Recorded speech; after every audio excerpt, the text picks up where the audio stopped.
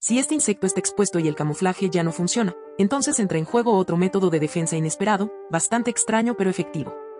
Los bichos palo no están adaptados para reaccionar rápidamente a las amenazas, por lo que queda actuar de manera minuciosa y organizar una maniobra espectacular para el cazador.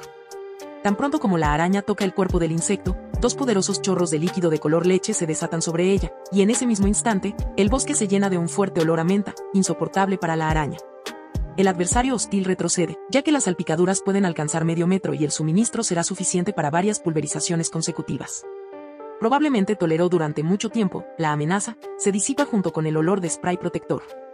Al dicho palo ni siquiera le fue necesario distraerse de la comida para evitar el ataque.